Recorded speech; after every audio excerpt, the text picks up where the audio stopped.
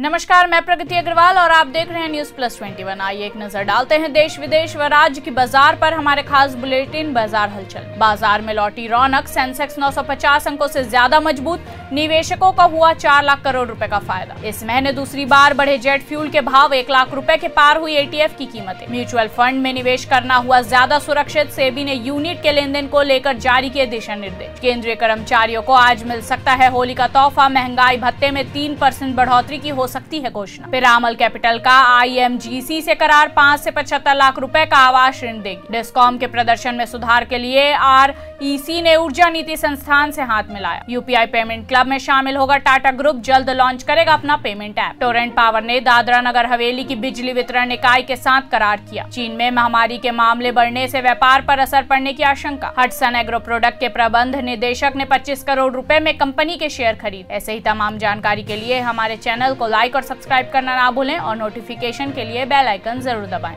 देखते रहिए news plus twenty आपके हक की बात।